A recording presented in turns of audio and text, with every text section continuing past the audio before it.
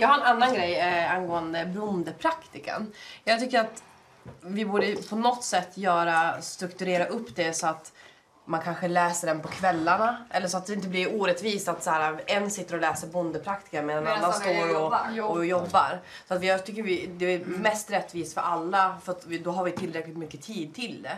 Jag läste när vi kom hem och hade varit och hämtat ved.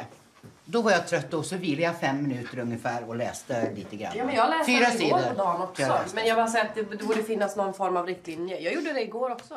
Men Nej, alltså, men vi har ju kommit fram till allihopa att vi inte ska läsa bondepraktikan på dagarna medan vi alla jobbar. Sara-Marie sa det vid bordet och Yvonne tog åt sig direkt. Men det riktlinjen har ju varit att när vi är trött och vill vila så kan vi läsa bondepraktikan. Jaså? Ja, var inte du som sa det första igår kväll? Så är det, men man har ju fortfarande lite sunt förnuft. Jag menar, om folk står ute och jobbar så kan inte någon lägga sig och läsa en bok. Naturligtvis inte. Jag satt här och läste tre, Ja, fyra sidor jag när vi hade varit och hämtat all, all ved där nere.